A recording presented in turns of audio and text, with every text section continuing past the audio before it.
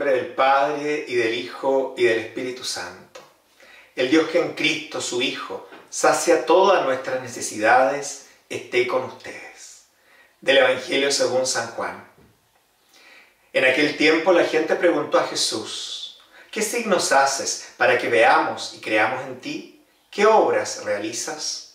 Nuestros padres comieron el maná en el desierto, como dice la Escritura, les dio a comer el pan bajado del cielo. Jesús respondió, les aseguro que no es Moisés el que les dio el pan del cielo. Mi Padre les da el verdadero pan del cielo, porque el pan de Dios es el que desciende del cielo y da vida al mundo. Ellos dijeron, Señor, danos siempre de ese pan.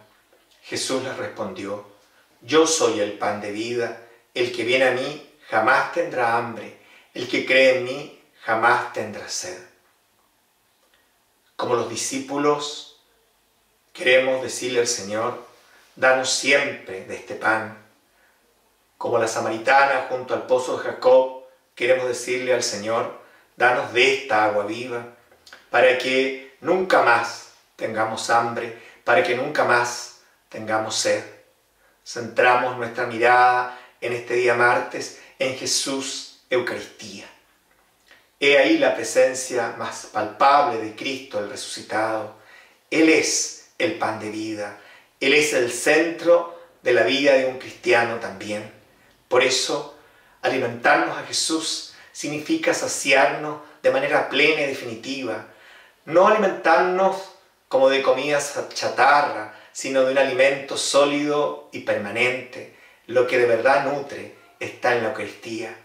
Por eso quisiera aprovechar este martes para animarlos a cada uno a participar más a menudo y más plenamente de la Sagrada Comunión. A este Jesús, pan de vida, sea todo honor y gloria por los siglos de los siglos. Creo, Jesús mío, que estás real y verdaderamente en el cielo y en el santísimo sacramento del altar. Te amo por sobre todas las cosas y deseo vivamente recibirte dentro de mi alma. Mas, no pudiéndolo hacer ahora sacramentalmente, ven espiritualmente a mi corazón. Y como si ya te hubiese recibido, te abrazo y me uno del todo a ti. Señor, no permitas que me separe de ti.